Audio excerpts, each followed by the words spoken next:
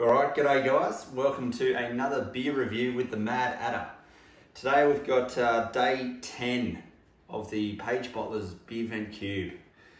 Um, it's a it's a brewery I've I've not heard of them per se, but uh, I have heard of their uh, their big brother parent brewery, which is uh, Hargreaves Hill. Um, today we've got a beer from um, they're called Beatnik and basically they're like a pseudonym for Hargreaves Hill and it allows them to get adventurous and wild and maybe try things um, outside the mainstream. And I really appreciate the fact that instead of just having a bunch of beers from the same Hargreaves Hill Brewery logo, they've just they've actually made it separate, which means they can be a bit more, as they say, a bit more fearless. Um, and just really just play with it. So yeah, uh, about the brewery. Beatnik is Hargreaves Hill Hargreaves Hill's rebellious little brother, who's more concerned with the bigger questions in life and exploring his inner and outer worlds than to be conforming to the notions of what society expects him to do, which is what most breweries are doing, right? They're knocking out beer after beer after beer that's just just I just want beer that tastes like real beer. Um, with an adventurous spirit, Beatnik explores the spaces that only cans can go. Beatnik is big, bold, and fearless, embracing the open road before us and the world of possibilities. Fate loves the fearless, and the fearless loves Beatnik. That's a cute little poem. Anyway, let's get this beer out. Number 10.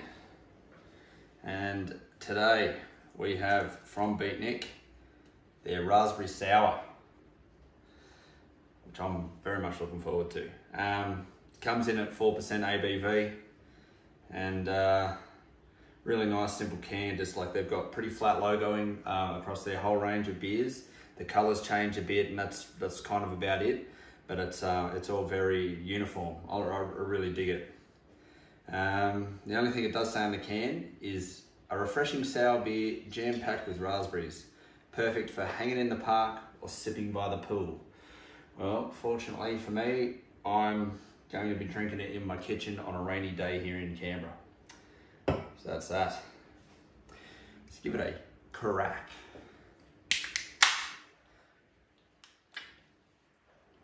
Not bad. Mmm.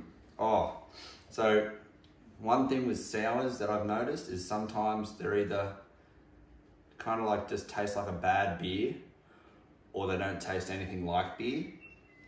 Um, this already smells like it's got both. What it's a sour beer, so it's sour raspberries, but you can still smell that beer. Mm.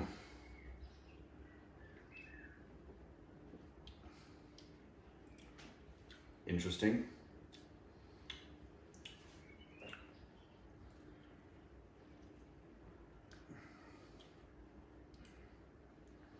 Really light in flavour, really light in mouthfeel as well.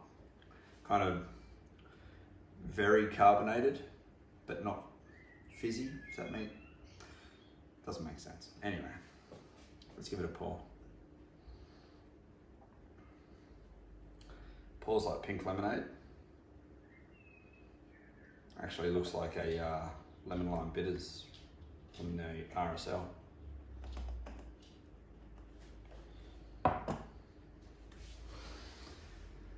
Yeah, just looks like a raspberry lemonade. Does not taste like one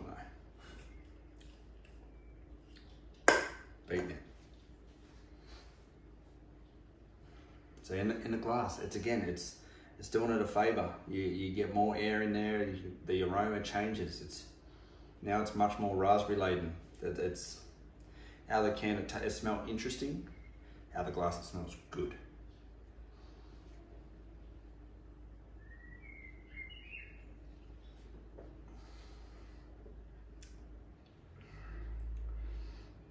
That's not a bad sour.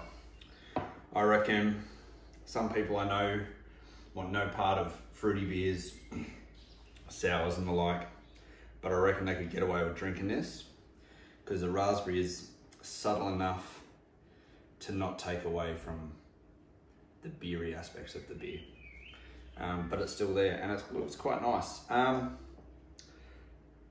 definitely not the best sour I've had. Uh, I wouldn't buy it. Um, there's, there's too many good sours out there, so I think uh, you can get you know the Sunny Boys and, and there's a bunch of different like Hope Brewery do a bunch of really good sours and there's just other sours out there that you choose first, I think. But it's not bad. Uh, I'm gonna give it a 3.5 because it's decent. Um, it's decent and it's uh, worth a shot if it comes in a beer vent cube. So yeah, good job, guys. Interested to try their other beers as well.